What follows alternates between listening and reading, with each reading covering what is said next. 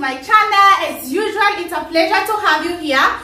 I am still in diani mombasa. I've been here for a full week. I've been uh, on vacation guys. But right now as you can see i've just finished packing. I'm not very very happy because i have to leave guys. I have to travel back to nairobi. It's currently around 2 p.m my flight is around 4:45 p.m so i'm just like checking out from the hotel right now it's been real. It's been real guys. I've had fun. I've enjoyed. I've been staying at diani sea lodge.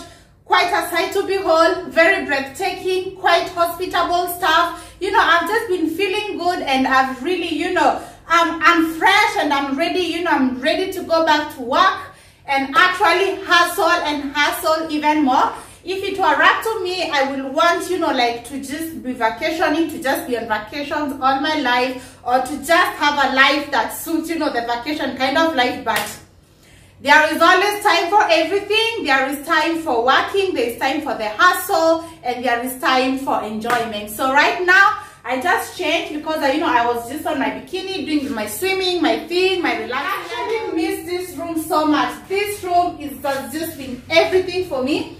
I was booked in in a comfort room and uh, it's among the best rooms in this hotel and I've enjoyed myself. So right now I need to go, you know, uh, check out at the reception very fast and then I also need to quickly catch my lunch and then I can wait for, you know, at the hotel shuttle to drop me off at the, uh, you know, at the airport.